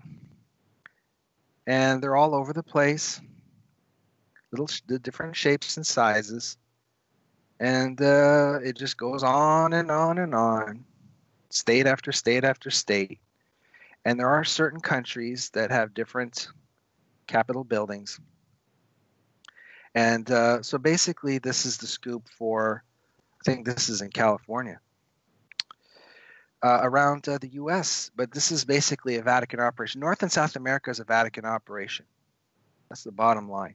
Okay, it's not some uh, YouTube video that I watched with eerie uh, Satan music in the background, and then an endless string of Bible pr- prophecies that don't explain everything. It, I respect the Bible and I respect the Creator, but they don't link it correctly, and so I get tricked into thinking it's it's just it's a business model, okay. And the darkness and the satanic element that's been peppered throughout the alternative movement unfortunately, eventually it'll be understood that it was ho- mostly Hollywood. Okay, but right now I'm going to be probably persecuted for saying that. I'm not interested in the devil. I'm not interested in Satanism. I'm not interested in, in, in, in, death and mayhem and people rejoicing over it. Not me. I'm not interested in it. But what I have come to understand is that you behave really, really bad and you're rewarded for it. You're a perfect candidate for the, the satanic uh, group and so they have all these crazy rituals and all this stuff you know to, to, to, to make you think that it's real. It's not. So now we talked about the, the vatican. We only have maybe 25 minutes left but i'm going to talk about the next phase of where humanity is going okay? And it's not just china. For those of you who don't know about the social credit system take your Apple Pay on your phone, your Android, your iPhone, and it's going to record your voice. It's going to record your movements with GPS. It's going to record everything you do in your house, with your husband, with your wife, with your children, all the arguments, all the, the stress, the depression. If you have suicidal thoughts, it's all going to go to med- medical uh, accounts, it's going to go to insurance companies, and you will get a number for your behavior, for how you live your life if you only eat hot dogs, you will get a low rating because you're not eating healthy enough. Okay? So, right now, if you want to eat hot dogs for 35 years, you can eat the hot dogs for 35 years. Nothing's going to happen to you. You just get sick from eating hot dogs. But now you're going to have an extra uh, a layer of of criteria that you have to live by. It's like a job when you're outside of your job. Your job outside of your work is to follow the government's AI algorithms to be a good citizen. Now, in China, this started in 2013. Most people heard about it in 2014. And there's a TV show called Black Mirror, season three, episode one, called Nosedive. Uh, again, I know I'm going through this quickly, but if you watch that episode, you'll understand what I mean. Okay? And I'm going to take that episode and I'm going to put it on nitro. I'm going to supercharge that information and I'm going to bring it to you in the real world. So China has a system where they they went from no running water in the 60s to super AI metropolises with for over 400 million cameras in less than 30 years. You don't build for 1.4 billion people. You can't monitor 1.4 billion overnight that quick. So instead of building up the credit bureaus, they created a digital ID for you and they monitors everything. And then if you buy too many video games, you spend not enough time with your husband or wife, you get a, a, score. And it's the way to, to lower corruption, supposedly, help the environment, all this stuff. It's a control grid. But it's not just for China. Everybody's relaxed and comfortable. Oh, I'm not in China. Everything's cool. It's not cool. 2020 is going to be live for all 1.4 billion. And China is not the devil, by the way. The Chinese government's not the devil.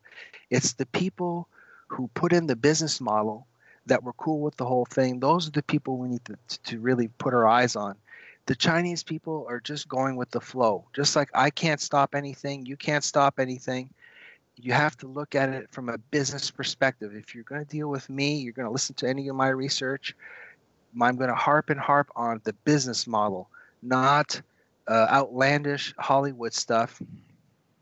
It's the business model because if you think in Hollywood terms, then you can't act uh, accurately. You can't make seasoned, discerned, uh, discernible decisions. You can't understand what's going on, so you make poor choices. And then you have to just follow the rules, or else you don't make it. You can't make your rent. So the social credit system is going to be a global infrastructure. It's not just going to be China. so, how am I able to conclude this? The social doctrine compendium, the social doctrine of the church. Now, if you read through this, I haven't read through the whole thing. I've read some excerpts from it, and I can tell you this it's not going to tell you, oh my God, X paragraph and X line, it says we're going to dominate the world through the social credit system. It's going to say something to the effect, I think it's section 52, something about uh, uh, uh, helping determine the social interaction between man and man. And it's a really loose, loosey goosey information, but that's not the point. The Vatican is is is a smart cookie. It's been around long before I was born. It's going to be around after I'm gone. Hopefully, it can change its business model. Okay, if it changes business model, humanity has a chance. If it doesn't change its business model in less than 100 years, we're gone.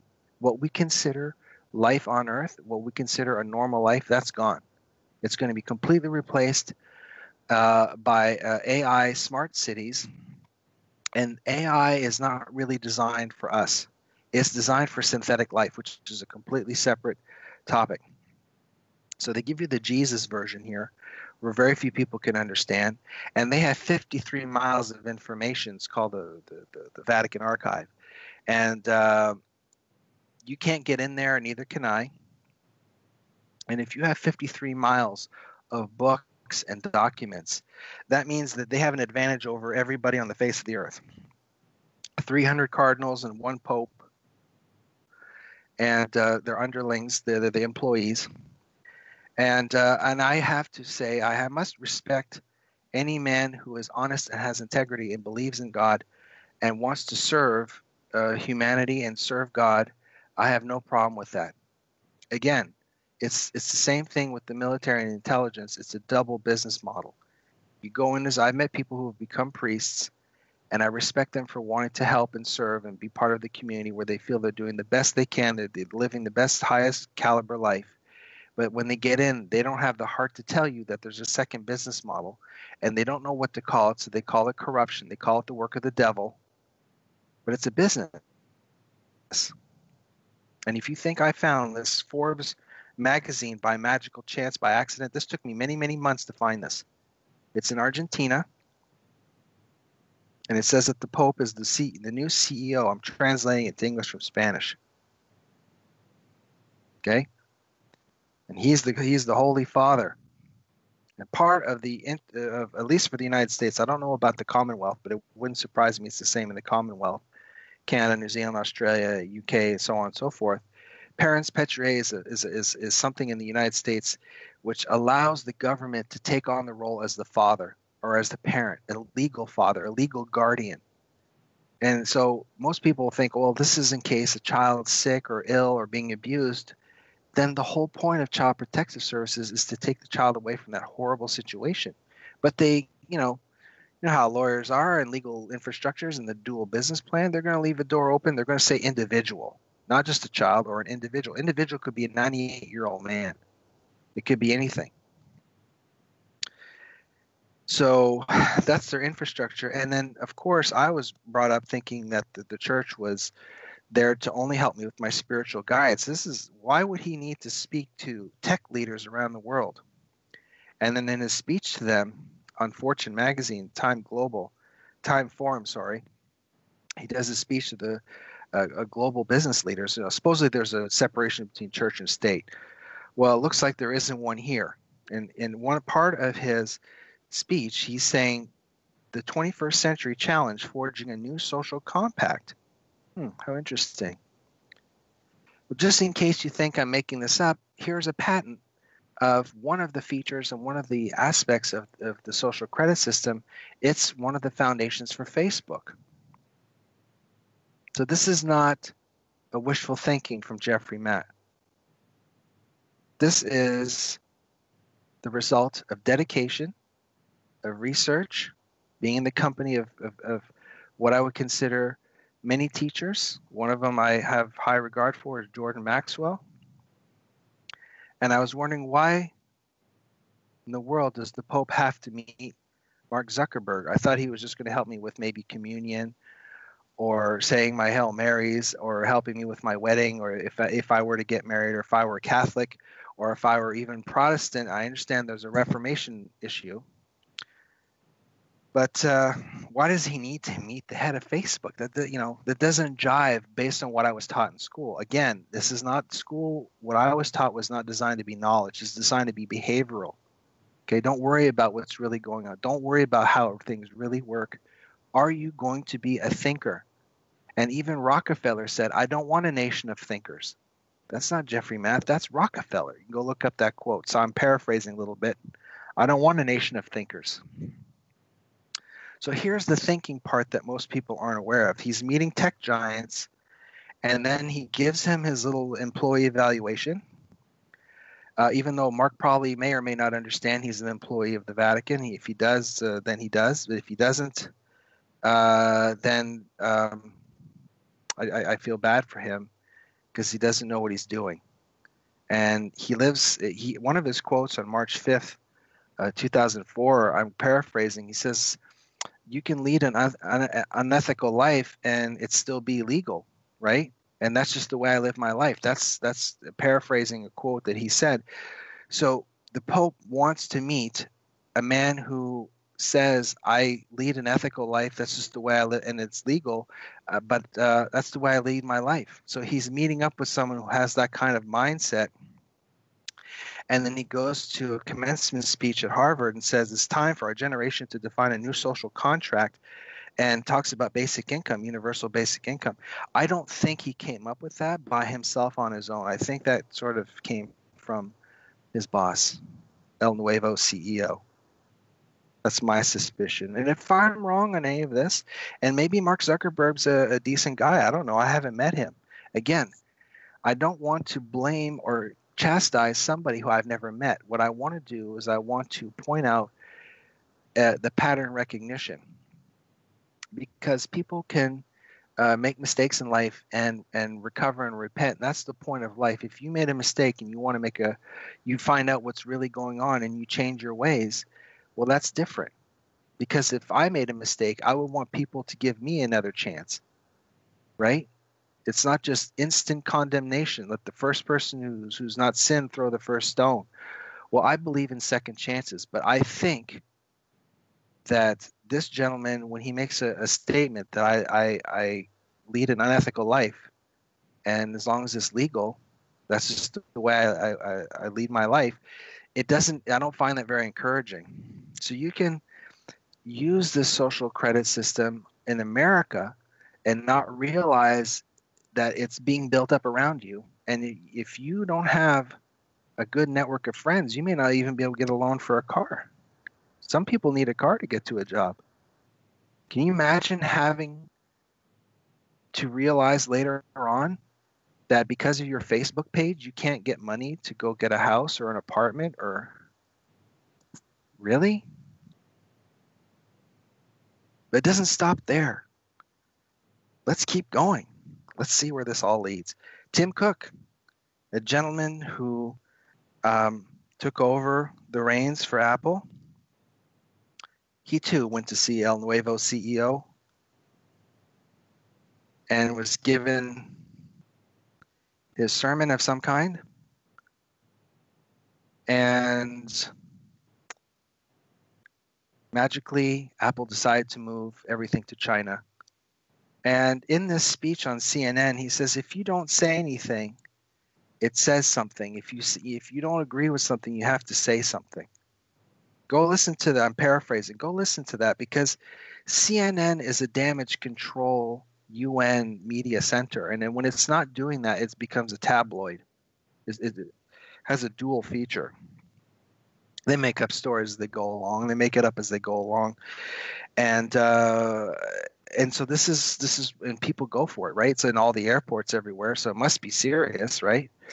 But um, listen to that speech, and you'll see that this is a damage control versus a tabloid. So, Google, Apple uses Google's public cloud for iCloud. I wonder if they're connected. Well, gosh doodles. Eric Schmidt wearing that beautiful UN blue tie. visiting El Nuevo CEO. Voila. Now, this is a few years before. So I don't want people to think I, I didn't understand this. But they're already in China.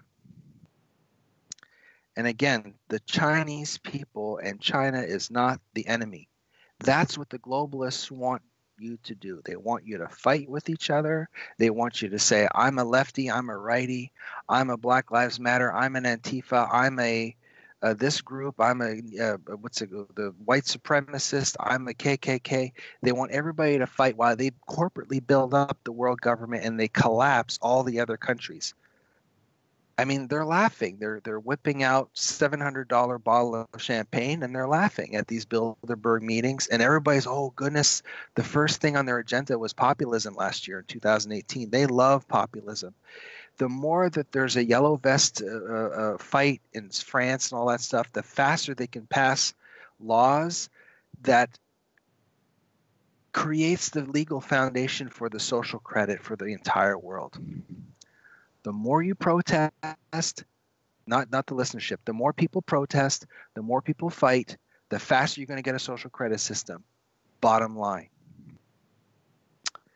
So here's an example of an article that explains it. Your online, mobile, and social behavior are now data points, and governments uh, are going to give you a credit score, scoring credit worthiness. So social networks and secret societies are involved. Here are all the social networks. That's an example of them. And in the US, you can get a reputation score already. It's already started.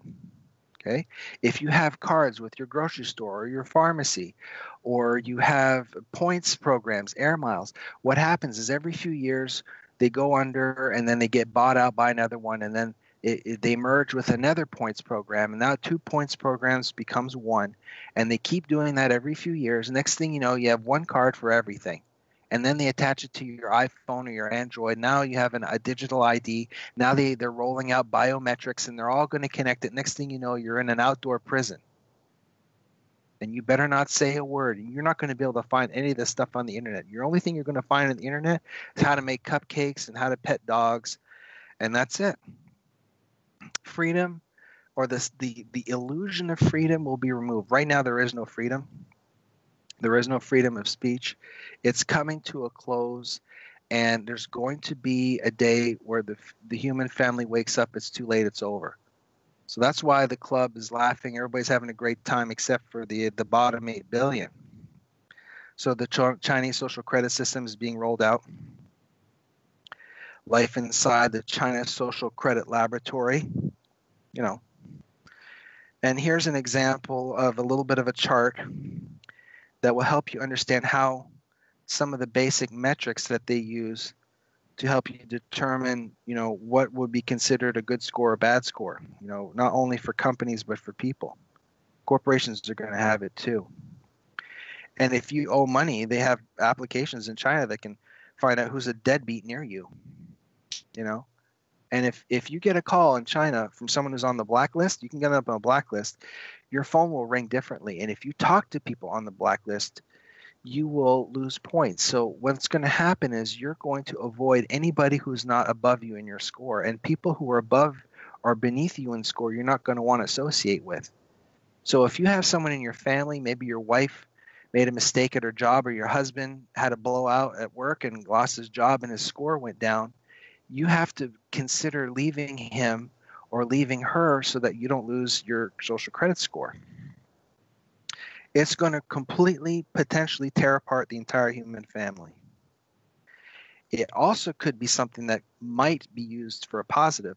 You know, if I were to implement the social credit system, if there was no choice, I would only implement it on people in the Congress, in the Senate, and uh, uh, uh, people who are in public office and it would be uh, extremely a tight run. So instead of having a three day week and you get paid hundreds of thousands of dollars, and if there's a shutdown, you get a bonus, it's the opposite. You have to work for the people. You're in a public service position. You're supposed to work for the people, not for the United Nations. And the social credit would eliminate an enormous amount of corruption if it were only applied to people in public office. If you're not in public office, There is no social credit system. But that's just loose thinking. So we only have a few minutes left. Here are examples of the Chinese version. And if you think that it's only in China, Germany is edging towards it as well.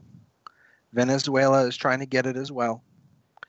And uh, the EU definitely wants it. I mean, France is really gunning for it really bad with the yellow vests. They're going to abuse, they're going to take the abuse of all the fighting and they're going to pass all these laws. And it's going to turn it, get it closer and closer so that when they roll out the social credit, everybody's going to basically say this I'm fed up of all the protesting. I'm fed up of everything. Give me a solution. They're going to say, We've been waiting for you to say that. Voila, here's your social credit. And then when everybody gets it, they're going to realize it's not as fun as they thought. Here's a Democratic campaign, a presidential candidate who says, I can't wait to put it out there. This is a watered down version of it. And so there are other uh, corporations that have their take on what it is. But to put it all together, you need 5G, right? That's very important. And biometrics. And so when we have 5G, we're going to be living inside of a an airport scanner for the rest of our lives. That's going to injure the human biology, and we're going to become infertile, and we're going to have 20,000 satellites of 5G radiating around the world. And even if there, if, even if the world is flat, which I don't know, if it was flat and there was no satellites, it's still going to be 5G anyway. So it doesn't matter whether the world's shaped like a donut or a, or a cube or a triangle. It's coming. And even if you go to your local mall, you want to get fitted for the best fit for clothes. They have a, a 5G radiation booth. You can get cancer 20, 30 years early to find out what size shirt you want to wear. Here are the corporations that are involved with the social credit. We only have a minute left, so I would just say this. You need to be aware of this stuff, do your homework, uh, support Jordan Maxwell if you can, if you're in a position to, research his work, double check everything I say. I have my own power, but you have the power for you. This information is for you, and you need to double check it and you need to go through it and understand what it is and how it's going to be everywhere.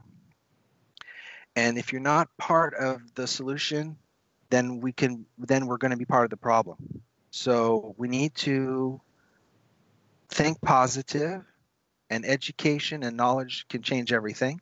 There is no privacy left, and we have to be careful of decentralization. Because when you decentralize the internet and there's no place to, uh, to, to, to make a complaint, then you have no recourse. So decentralized, there's a big negative to that. We have to be very careful with decentralized. Everybody should look into that. And the courts are using AI, and social credit's going to attach to it even 5G is going to be used in the United Kingdom to track mental patients and dementia patients. So you need to look into this. There's all kinds of companies that are using this stuff to build a social match in schools, in your churches, with your meta your medical doctors. It's just everywhere. Facial recognition at your church to see how much money you're giving to Jesus or to Allah uh, or to Yahweh. They're going to detect if you're lying 24/7 through your eyes. They're going to be able to read your your voice through layered voice analysis to see if you're lying uh, when you speak to your phone, to your husband, to a police officer. And uh, they can even predict where crime's going to be. And if you're in the wrong place at the wrong time, you can get arrested, whether you're innocent or not. So these, this is this is this is the real deal. And so I invite everybody to look at this information. Check out my website, jeffreymatte.com. And I hope this information serves you this is not designed to create fear, it's designed to create awareness, and it's designed to help you. So I want to thank you for your time, and uh, I want to wish everybody a great evening. Thanks again.